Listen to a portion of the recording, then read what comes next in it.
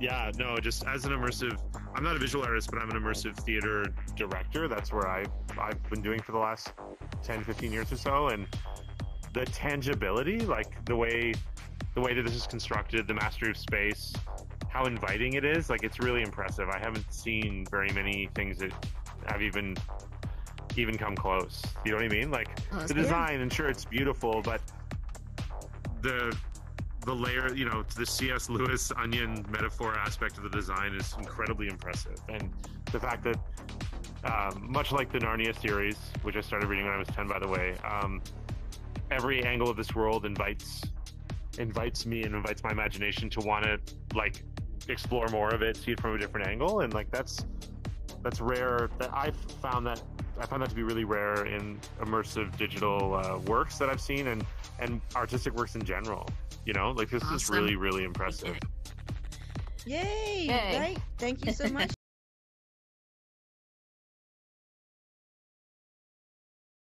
show based off a morality play i don't know 16 or 17 years ago and uh, it wasn't like this but just the blend the blend of design and visuals and sort of the artistic sensibility of what you're trying to get people to explore is, is really impressive. Like not only as a consumer but as someone who's created immersive experiences before getting people to encouraging people to track the big questions this is right up my alley and extremely extremely impressive because um, the uh, the guide rails you've done such a great job of creating the visual guide rails and the sort of spatial guide rails but also um, the sort of internal guardrails into the participants like their their internal structures that sort of give the, the experience shape and i've again very rarely seen such a unity of um, concept and design as i have in these worlds like it's really impressive Awesome. Yay. Yeah. Such a neat and unique world it is like a circus dream uh, with so many like interesting uh, th- there's a lot of like beautiful motion everything flowing and alive um, and inviting exploration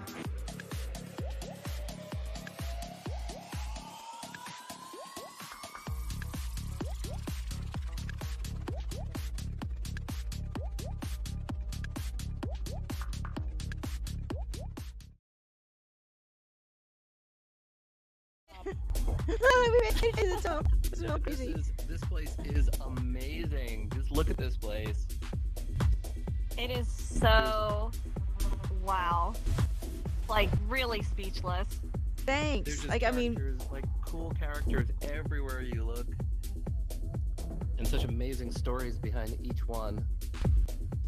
Yeah, it's really really amazing, and I'm so excited to bring you both in because you're both artists, right? So like you've got that incredible, brilliant sensibility. So it's it's really an honor for me to have you.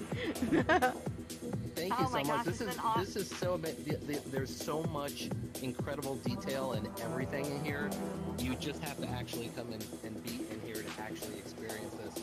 I can't imagine that like video would actually give you this kind of overwhelming.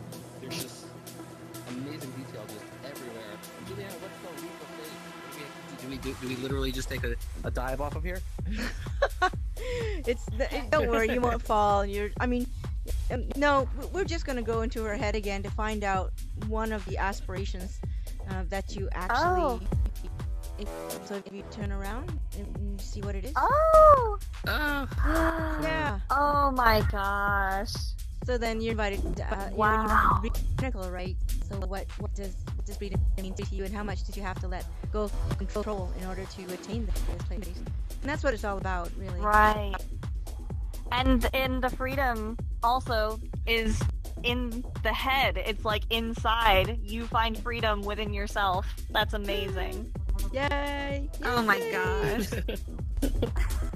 Just look look down when you're walking over here, Brett.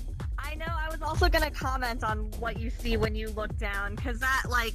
Oh my gosh! I wish I could even articulate what I'm feeling looking at this, but I can't. It's just so stunning.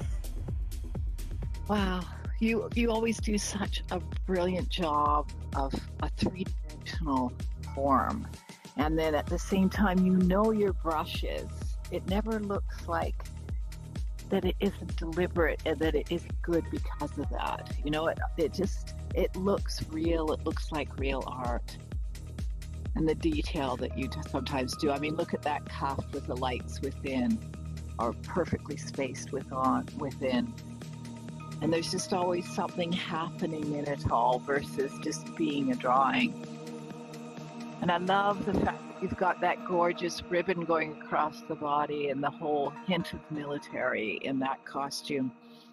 You know what's interesting is I'm surprised at how easily I adapted to it in the sense of sometimes I'll get in a space where there's a lot of ups and downs and it's a little whoa where are we? But this one did I didn't have that at all. It was comfortable the whole time which is good. No, which is it's really good. amazing. especially especially when when you're you're looking you know nothing under your feet. You know, you know normally that's a little discombobulating but this has been great. This is no problem